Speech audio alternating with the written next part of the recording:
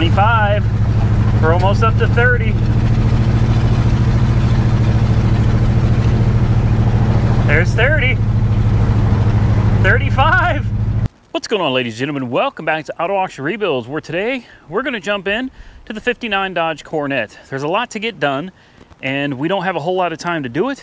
So let's go ahead and jump into this. We're not going to spend a lot of time talking and I'm probably not going to do a step-by-step -step for you guys either. I know there's probably some of you that really want to see like step-by-step. -step. We'll see how it goes throughout the making of the video okay there's so much so much going on right now so much to get done i've already started the upper radiator hose was kinked um, it's too long you see that kink right there so i'm actually going to have to shave off a piece of the end there a piece of the end there i'm probably not going to record that that should uh, loosen things up so it's not kinked so hard anymore next uh, thermostat gasket we pulled off and the thermostat we are removing and leaving out uh, take a look at this thermostat, guys. That's not normal.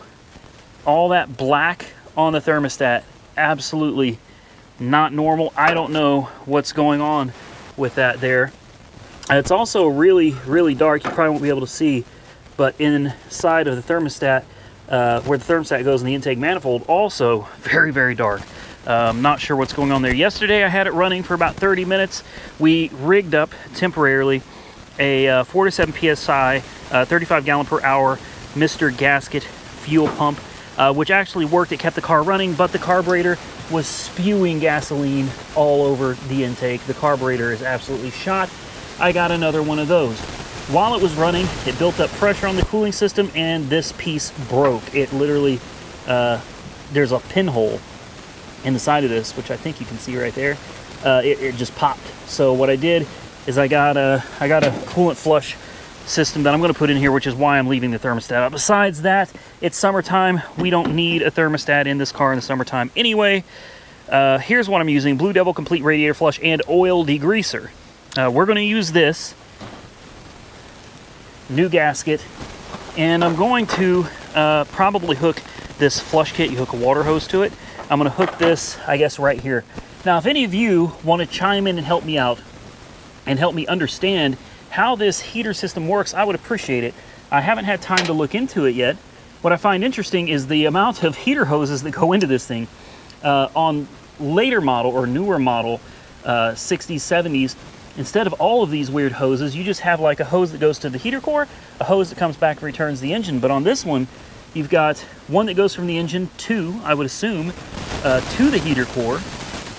Then you've got another one that comes out of the heater core. But then you've got this, this loop. What is this? What is this hose that goes from up here and loops around to the bottom? Uh, I don't I don't understand what that's doing there. I also don't know exactly. I know this is a bypass valve, but there's nothing hooked to it. So I don't really understand what that's doing there either. So obviously I've got some work to do on the cooling system. Uh, fill it up with water Here's the stuff that I flushed out of it. I collected it in this bucket. It looks, it looks really gross. Uh, really, really gross. Um, I'm not 100% sure, but I'm wondering if we may have a head gasket issue with this carb. We're not, we're not even going to focus on that right now. Next, aside from getting the cooling system put back together, we have the new carburetor. I was able to find the exact same carburetor that's on it right now and uh, this is not the original carburetor. The original carburetor was a Stromberg, I think it's called, uh, WW2 or something, or W2 Stromberg. Uh, this is a fairly common replacement. I believe this is off of a uh, early 60s Dodge, maybe a truck or something, I don't know. But this is the identical carburetor. And this was only $79 on Amazon Prime, so it was here next day. Uh, yes, $79 for a for a carburetor. Next, we have a brand new fuel tank, which I honestly did not expect to show up today. This wasn't supposed to be here uh, for several days, but it showed up. So here it is. This was $300, $279 plus like $40 shipping for a new gas tank. It's got uh, the locking ring, little gasket there, and this I paid for separately they went ahead and installed this for me, but I don't even know. Yeah, I don't even think I want to take that out. To be honest with you, this looks like kind of a bear. Anyway, This is a sending unit that I paid, uh, I think about $70 for. There are two different types of sending units for this car. I didn't know which one this car had because I haven't gone under it and taken it out.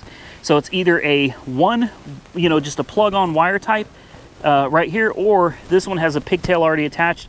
The difference is the ohms, the resistance uh, between these two. So the fuel gauge will either work with this one or the fuel gauge will work with that one, but the fuel gauge will not be accurate uh, with one of these. One of these is not gonna work right.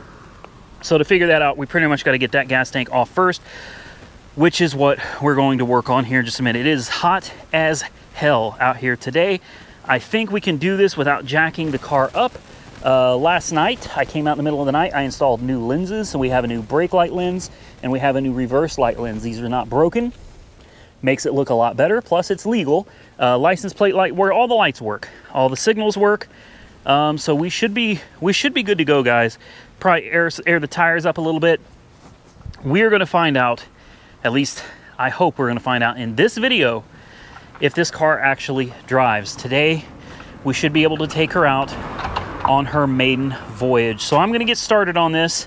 Where to start? I think I'm gonna start with the gas tank because that's probably gonna be the biggest PITA since there is still gas in it. Uh, we're gonna go ahead and start by putting, dropping the old fuel tank, getting it out from under here, sliding the new one in, figuring out what sending unit. I don't think I'm gonna record that guys. I don't because that's, it's gonna be hard to get the camera in there. But uh, Let's pull the old tank out. Let's sit it next to this one, make sure everything matches up. All right, boys and girls, we have created a monster. We've gotten ourselves into a mess. New gas tank, old gas tank. Old gas tank is out, and as it turns out, the old gas tank has the wrong sending unit in it, so the gas gauge would have never worked properly. Uh, the stuff that's in here, I'm gonna see if I can even get you guys in there. Hold on, let me see let me see if I can get you guys some light. I've had to play with both sending units, wire wiring them all up in an attempt to uh, figure out which one actually goes to this fuel gauge. So, I'll be honest with you, I don't think you're going to be able to see in there very well. I've got the light on as best I can. No, you're not going to be able to see in there. Okay, well, anyway, suffice it to say, it's rusty, it's a mess. So I got a brand new gas tank. This thing, guys, literally, it came off and out of the car in like 20 minutes. It's pro probably the easiest gas tank I've ever dropped in my entire life. We figured out which sending unit it is. That is a single wire sending unit that came out of it. But the one that it needs is a dual wire sending unit. It has a ground strap as well as a signal wire. And this one, this one is the one that it's going to take to, uh, no, sorry, wrong one. This one, I've got all the, I've got all the alligator clips. One for a ground, one for a signal. Been able to adjust it, and it seems very accurate. So we will have a fuel gauge. Uh, I'm not going to talk through this whole thing, guys. I'm going to jump under here. I'm to put this back in with the new sending unit locked in place. I'm going to bolt it up, and then I'm going to run some fuel line and the fuel pump. Fuel pump's got to be mounted within 10 feet or 10, uh, 12 inches of the fuel tank. So somewhere around, I don't know, somewhere over here somewhere, to find somewhere to mount that new pump, get our line in, get everything routed up to the engine bay so that we can, uh, you know, put a carburetor on it. I got a new choke for it. Uh, not a new choke, but the new uh, thermostat style choke the heat causes the spring to expand and actually opens the choke for you. Um, I've got a new one of those. Gonna hook this all up, guys. I'm so excited that we're gonna have a gas gauge, fresh fuel, and this thing, this thing's gonna run. I don't know if it's gonna run all right. I don't know if it's gonna be uh, blown up, but damn it, it's gonna run on its own and it's gonna drive. Let's get to it. Well, ladies and gentlemen, happy 4th of July. I know this video is probably not gonna come out until I don't know, probably closer to the 20th, but uh, for me, it's uh, it's literally 4th of July. I worked on this car. Sorry for the video angles there, guys. I worked on this car until uh, it was after 4 o'clock in the morning when I had to give up on her.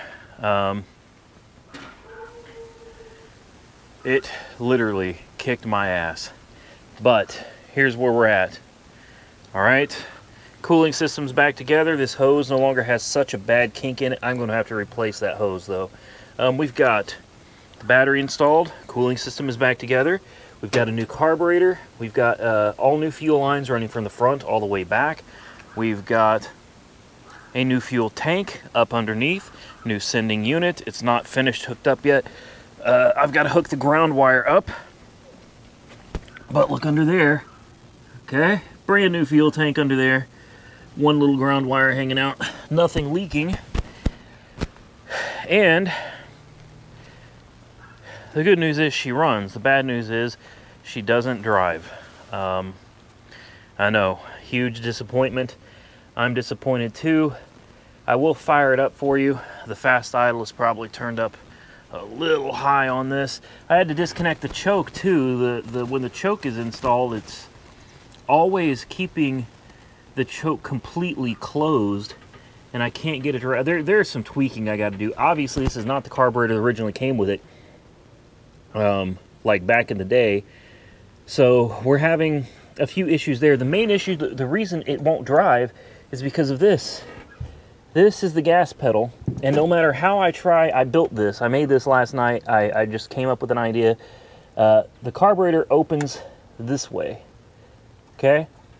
But the gas pedal goes this way. Okay, this would be rested. Forward is how it tries to push. When you hit the gas, it goes from here and it pushes forward. So I put this down here thinking that it would push forward and open it. The problem is it doesn't. All it does is try to bend this here. I've tried adjusting it all different ways, guys. I can't get this linkage to work. And I think the reason is because of this bend. You see this bend? Runs at, I don't know, 40 degrees or so, maybe a little less, but there's about a, I don't know, a 35, 40 degree bend right here, but it's going down. I think that bend needs to be flipped, and that bend needs to be going up to help push this up. Yeah, also these springs are not hooked up right. I'm, I've been fighting this thing, like I said, guys, all night. So here's what I'm going to do for you. Um, I am going to give her a start make sure that she's still running okay this morning. She was fine at 4 o'clock in the morning. It's now 11. I don't see any reason why anything would have changed since then. But, uh, you know, the good news is it's all together. It's all working. It's almost done. We're so close to being able to drive it. I still think we're going to be able to drive in this video. It's just going to take a little more, uh, little more tinkering. Another thing I noticed is there seems to be a misfire, I think, I could be wrong, but I'm pretty sure I hear a misfire. This has true duals, so they don't, there's no X pipe or anything. It literally goes from one cylinder, or not one cylinder, one bank all the way out the back. And I'm pretty sure we've got a misfire on this uh, bank somewhere. That's something we'll have to check out later. For now, I'm going to hook those springs up because you don't want those things, uh, you don't want those things off right now. It's wide open throttle. Put those springs back on, see if we can fire it up. You can hear her run. Well, you know how that thing on SpongeBob goes. Four hours later, um, I've been out here and uh, people just been stopping by and talking to me about the car. Uh, people love this car, and I'll be honest with you guys, it's one of the things that I really love about this car. I really do. Is it's such a unique. Let's walk around it one time real quick, but it's it's such a unique piece. Um, people literally just stop to ask you about it. And she's wearing some old, worn out, faded paint. It obviously doesn't look new. It's not anywhere near show quality. But this car gets attention. People want to stop and they ask you, what is it? Some people know what it is. Some people stop by and they're like, man, that is a beautiful Coronet. What year is it? Um, I can't tell you how many people have stopped by. In fact, yesterday it was really cute. An older lady was taking a walk and she caught me out here working on it and she said uh, she said what year is that? And i told her she said she said i graduated high school in 1960 if that tells you anything about how old i am. She said she remembers a day when you saw these cars everywhere. She said it was a beautiful car and she asked me if when i got it running i would take her for a ride in it. And i think i'm going to do better than that. I think once we get it where you know I, I feel it's safe I think if she wants to, I'm going to let her drive it. Um, sweet, sweet older lady. She lives right down the street from me. And I've had several people just stop and want to talk about the car. And that is one of the things I really love. It's not a Mustang. It's not a Camaro. You know, it's not a pony car. It's not a sports car, it's not a fast car, but it is a unique car. It's a very interesting looking car, especially with your two-speed push button automatic. Your speedometer that doesn't have any needles. It's it, it's lights. Now, of course, I don't know if any of that works, but I will show you something. Watch this.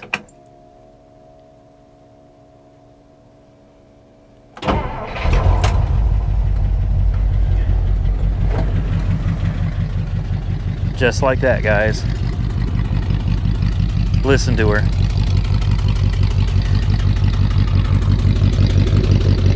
You hear a misfire? It sounds like this side is running smooth, but I hear a tut tut tut tut tut tut tut tut. Yeah, I'm pretty sure we got a misfire on that side, which is interesting because we have uh, currently new spark plugs, new plug wires, distributor cap, the rotor, the points, like the whole ignition system's been replaced. So if we do have a misfire on this side, I'm gonna say it might be from possibly uh, these you have to adjust the valve lash on them so it may be a valve is out of adjustment on this side so we're probably gonna have to pop that valve cover off and adjust the uh, adjust the valve lash. But if you look at the engine it looks like it's actually running pretty damn smooth. But I think it does I think it does have a misfire. And I've had a lot of people asking me about a PCV valve these cars don't use PCV valves what they have is they have this PCV looking thing that comes out of the valve cover right here, right there. And it goes straight to the concrete, straight to the ground. So when it builds up too much pressure, instead of uh, blowing seals out or recirculating back into the intake, it literally dumps right onto the ground. That's how they did it back in the day. They had no problem with pollution in the 50s, none at all. All right, guys, let's see if we can get this thing driving today. All right, guys, it's been hours, hours of my 4th of July to make this video for you guys. I'm dying to get this out. We're about to drive it for the first time. She jumped into gear. E-brake is off. All right, she's smoking a little bit, but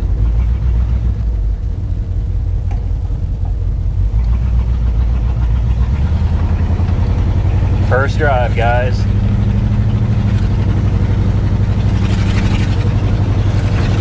Look at the uh, look at the speedometer working. 20 miles an hour. Look at that.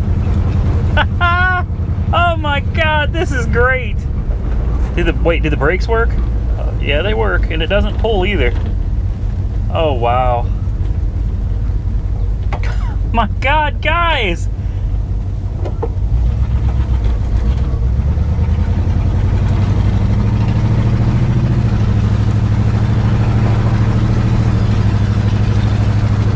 We're almost up to 30. There's 30. 35. 40. Woo! Oh my God. Oh my God. We got to 45 miles an hour and she drives, guys. Oh, I'm so happy. I'm so happy. The brakes are good. No power brakes makes it kind of a challenge, but it's doable. oh, guys, you have any idea how happy I am? She turns all right. Timing is still off. I'm sure there's some uh, mixture screws that need to be taken care of. No seat belts. oh my God.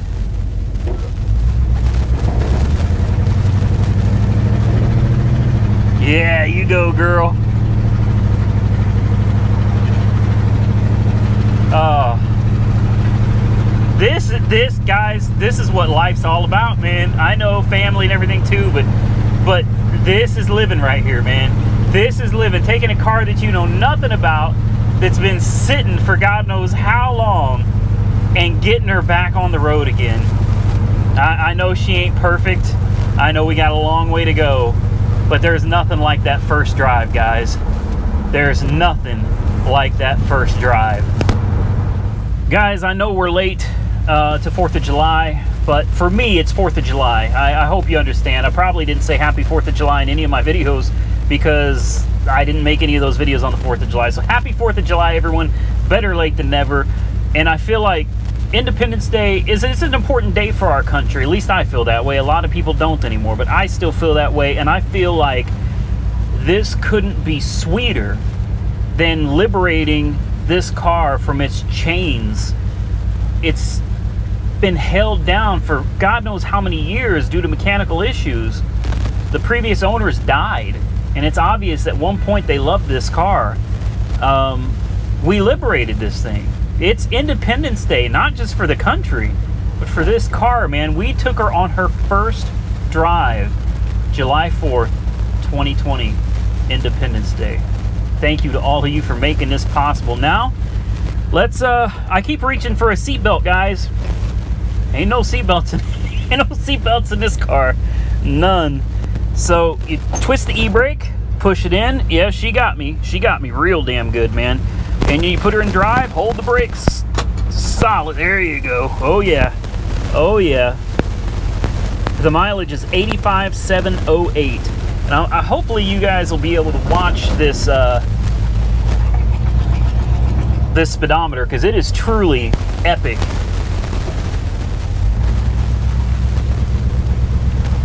Let me see if we can get you on a get you on a straight road here. You see it? You see the way? Ah, I'm not gonna be able. There it is, right there. You see it?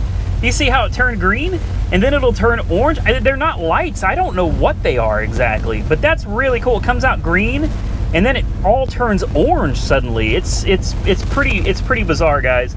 As soon as we get a green light, I'll show you. Look at the fuel gauge. We actually have almost a quarter of a tank in the fuel temperature. I took the thermostat out. It's running nice and cool.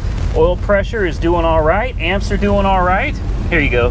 Here you go. Watch this, guys. Look at that spot. See how it turns green? Look at her go. Look at her go. You'll see what I mean? She turns orange here at like 35. There it goes. Look at that. Look at it turning orange. Can you believe that she runs, guys? Uh, truthfully, I can't. I am, I am absolutely blown, just blown away, man. Blown away that we're cruising this old girl down the street right here. Look at her go. And that, ladies and gentlemen, is going to be a wrap. We're not going to be able to really take it too far, go too fast. Obviously, the tires are old. Um, these are Cokers. Uh, for those of you that don't know, Coker's one of the big brands you go to when you want old school white wall tires like this. So we're going to have to get some new tires now that I know that it drives. It needs all new belts. The belts are all ready to break. Hoses, because they're crap, it's holding pressure, um, thankfully. Radiator appears to be doing all right. Water pump is circulating. As I said earlier, no thermostat, uh, but I do think we're going to need all new heater hoses, new upper lower radiator hose as well. We need to just take care of that. The belts all need to be replaced. Obviously needs fluids changed. Um, oil and oil filter would be the first thing because the oil in this is flooded in gasoline. It's actually overfull on oil from all the gasoline that was being dumped into this thing from that old carburetor.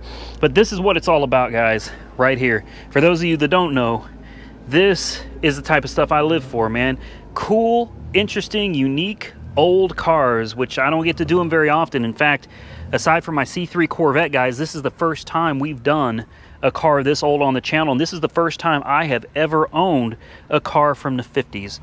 And I think I picked a good one. I do. The car is a conversation piece. Even with its current patina, people love it. Wearing its old, worn out paint, you see the primer showing through like it looks rough but people just love coming up to you and talking to you about the car. I'm excited. Uh, we're not going to stop here guys. I've had a lot of people on instagram that's seen this. By the way follow me on instagram auto auction rebuilds and you're going to get to see previews of stuff like this long before it ever hits youtube guys a week two weeks sometimes in advance if you follow me on Facebook and Instagram, Auto Auction Rebuilds. If you don't, that's fine too. Do whatever you want to do. Um, but guys, a lot of people like, please don't stop there. You know, you got it running, you got it driving. Truthfully, to be honest with you, if I was smart, I would stop here. I would absolutely stop here. There is no money, ladies and gentlemen, let me tell you, there's no money in restoring old cars. There is not. I don't care what kind of car it is, there's no money in it. You will spend more restoring a car than you'll ever be able to sell a car for.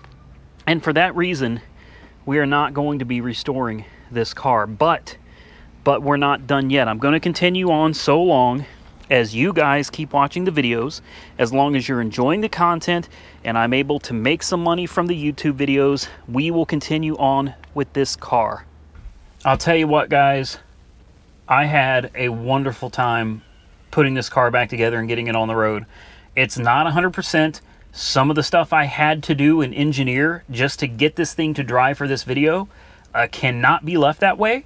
Uh, there's some there's some definite engineering going on here that we we're going to have to uh, we're going to have to take care of in the future, and I absolutely will.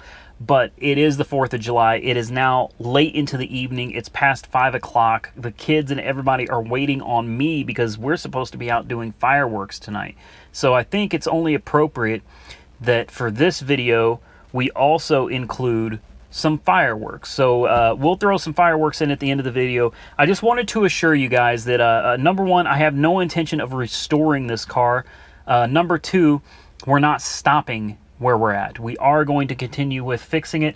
We're going to get the tires, as I said, fluids changed and stuff like that. Uh, definitely needs an alignment, have the front end checked. There's a lot more to do. And if you guys want to see it, all you got to do is hit that thumbs up button to let me know that you want to see more content on the 59 Dodge Coronet. Comment your thoughts down below. Comment your ideas. Hell, comment below and tell me what you would do next to the car. For me, it's tires. Uh, tires are of the utmost importance right now. Tires, belts, fluids have got to be done. I love this car. The amount of people that stop to talk to me about this old, faded paint, car is insane. Uh, it's not just me that loves it. Other people apparently love it as well. Um, if you guys enjoyed this video, like I said, please hit that thumbs up button. It lets me know that you want to see more of this, and we will definitely come back and do more of this. I don't know what the future holds for this car. A lot of that really does depend on you guys and gals watching these videos. Thank you so much, truthfully. This is my first 50s car and it was so much fun bringing it back. And the fact that we were able to take it on its first drive here, in case you guys, hold on, in case you guys don't believe me, uh, look at this. It is 4:45 p.m. Saturday, July 4th, 2020. Okay, so I literally have been out here sweating for days trying to get this thing going so that I could make this video for you. And the fact that it all came together and worked out on Independence Day is super, super cool. All right, guys, I guess with that, we'll get on to the fireworks show. Then we'll get out of here. All right, so I told you guys I'd share some of the 4th of July with you to get started. We got the bonfire going. We got a few little drinky drinks going as well. We got the grill going. We got some steak out here on top of these. Look how beautiful these coals are. Man, mm -mm -mm. those steaks are gonna be bomb. We've already we've already started some of the festivities uh, without you guys, and now it's about time to light up some of these fireworks. Yeah, go for it, man. Have at it. Light them up. Light them up. See what she does. Oh, it's a dud. Oh.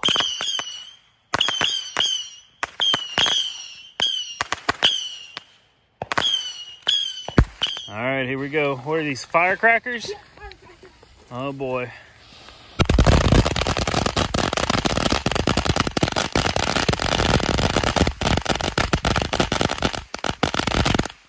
All right, you guys, you guys figure it out? Drop it in there and light it. There you go. Here it goes, man.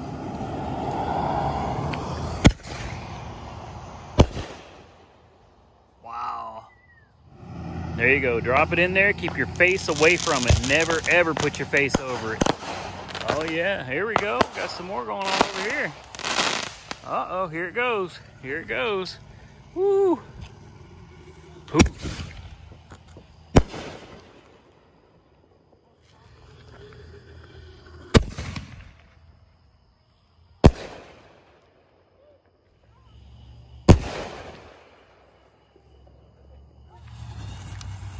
Two at once, oh boy.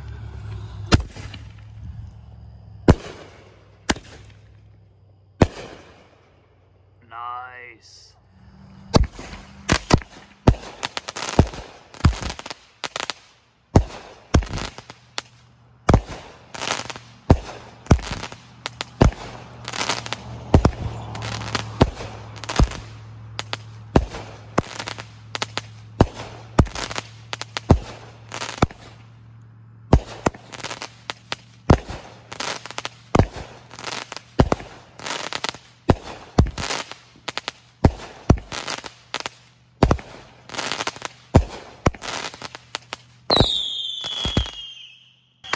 Get yours lit. You ready? Get it to it. Go. There we go. There we go. see what this does.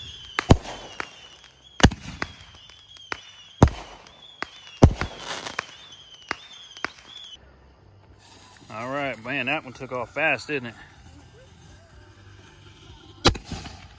it? Hopefully we got it facing the right direction.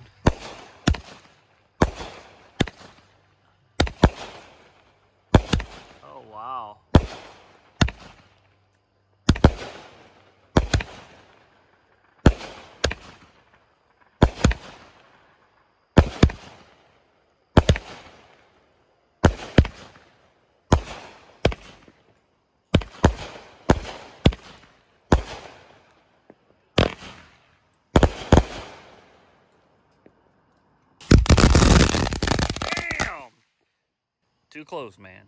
Too close. Uh-oh. What's this gonna do?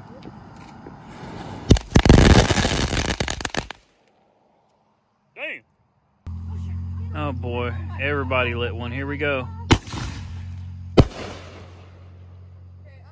That's one. Where the... Ah. Here goes another one.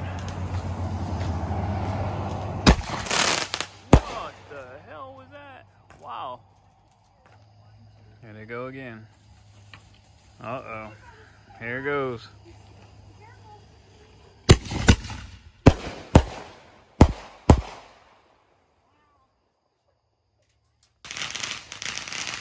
There's to be so much trash to clean up tomorrow, I'm telling you. Here we go. His didn't like